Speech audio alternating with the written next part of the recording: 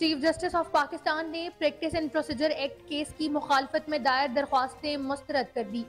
Chief justice Pakistan justice Qazi Faez Isa ने मुख्तसर फैसला सुनाया। चीफ जस्टिस काजी फाइज ईसा ने कहा कि ताखीर से आने पर माजरत ख्वाह सबका शुक्रिया, सबने मुआवनत की।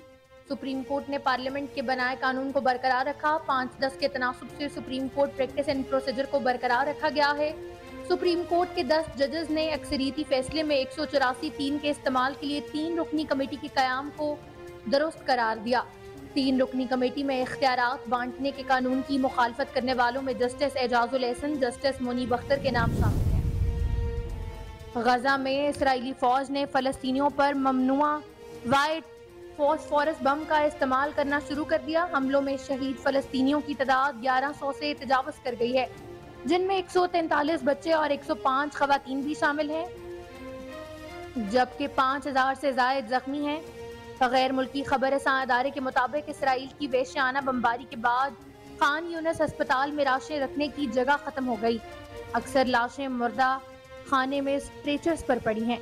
इसराइली हमलों के दौरान रेड क्रेसेंट हेडक्वार्टर को भी निशाना बनाया गया।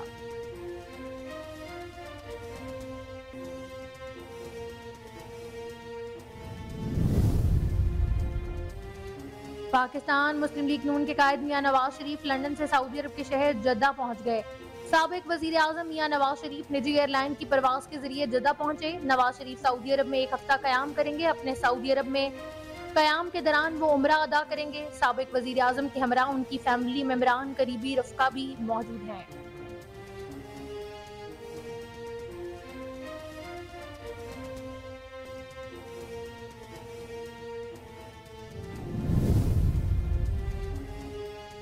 और तेज रफ्तारी के बायस जीप नहर में जा गिरी, जिसके नतीजे में सरायकी गुलकार, शराफत अली, खेलवी समेत सात अफराद जाम हो गए। जीप को हादसा मियाँवाली के इलाके वहाँ बिछरा में पेश आया, जहाँ तेज रफ्तारी के बायस जीप बेकाबू होकर नहर में जा गिरी।